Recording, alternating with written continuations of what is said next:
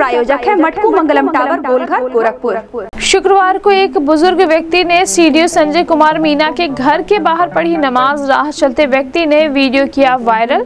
CDO ने कहा मामला संज्ञान में आते ही एसपी सिटी को कार्रवाई के लिए किया गया है निर्देशित। एसपी सिटी ने कहा नमाज़ पढ़ने वाले व्यक्ति की की जा रही है तलाश की जाएगी कार्यवाही।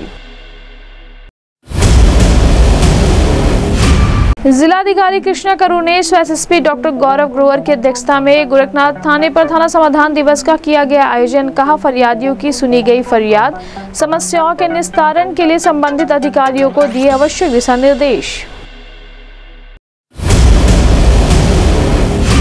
तीन थाना क्षेत्रों में चोरी की घटनाएँ करने वाले चार अभियुक्तों को पिपराइज और शाहपुर थाने की संयुक्त टीम ने किया गिरफ़्तार।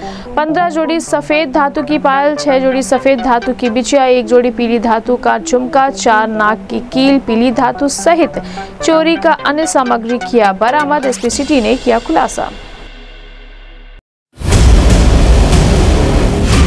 आज़ादी के अमृत महोत्सव के अंतर्गत संपूर्ण भारतीय रेल द्वारा 18 से 23 जुलाई तक मनाया जा रहे आइकॉनिक सप्ताह का चौरी चौरा रेलवे स्टेशन पर हुआ समापन।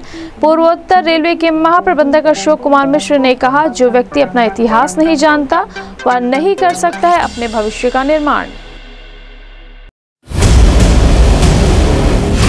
लूट के आरोप में वांछित दो अभियुक्तों को कैंट पुलिस ने किया गिरफ़्तार। लूट के तीन सौ रुपए नगद घटना में प्रयोग डंडा किया, बरामद, भेजा जेल।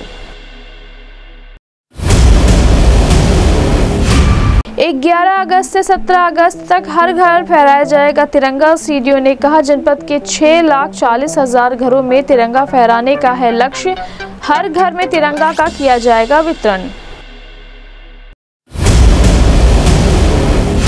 कुसमेही जंगल में अनाधिकृत रूप से प्रवेश करने वाले व्यक्तियों को रोकने के लिए मुख्य मार्ग पर वन विभाग ने लगाया प्रवेश निषेध का बोर्ड। डीएफओ ने कहा, अपराधी तत्व के लोगों को रोकने के लिए जंगलों में गश्त के लिए फॉरेस्ट कर्मियों की लगाई गई है ड्यूटी।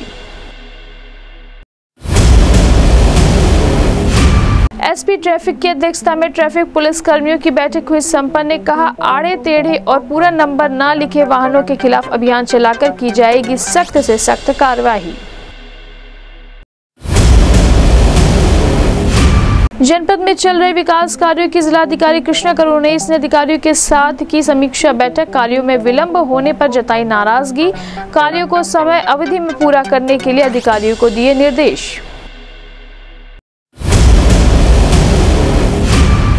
आशा कार्यकर्ताओं ने राज्य कर्मचारी का दर्जा दिलाने की मांग को लेकर एडीएम सिटी के माध्यम से मुख्यमंत्री को प्रेषित किया ज्ञापन। मांगों को शीघ्र पूरा करने की की मांग।